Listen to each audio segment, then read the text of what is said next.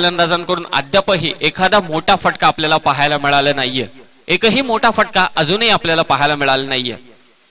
Full toss यावेळी मात्र mid ऑनला clear केलंय. त्याच्या डोक्यावर मात्र लगावलेला हा उत्तुंग लांबलाचक षटकार.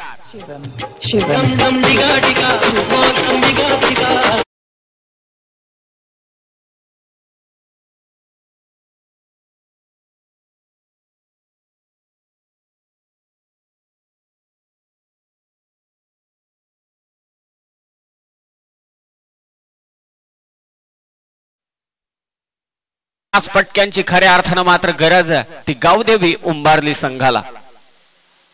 आडव्या बॅटनं ऍग्रिकल्चर शॉट ही ताकद आपल्याला मैदानावरती पाहायला मिळते. राजकुमार पाटीलच्या बॅट मधून निघालेला बेधडक भीमटोळा.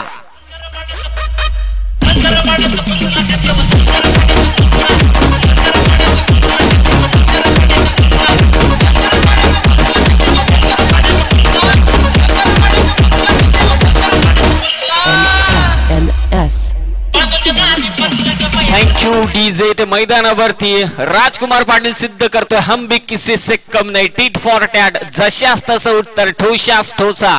मात्र मैदानावरती लगावतोय तो Rajkumar Patil. Back to back दोन षटकार आले. धावफळक येते मात्र एकवीस.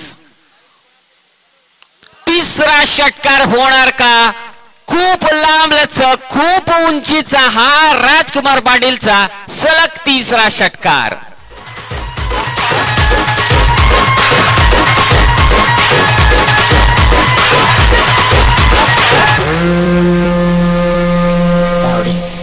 गाणं म्हणती. गाणं म्हणू?